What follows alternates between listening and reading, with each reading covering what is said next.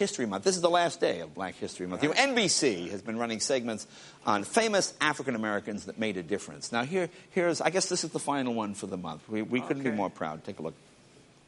NBC salutes another African American who's made a difference. Marvin Smitty Smith is a man of many firsts. He was the first African American to become a member of the Partridge family. ZZ Top. And the Japanese girl group Mini Moni.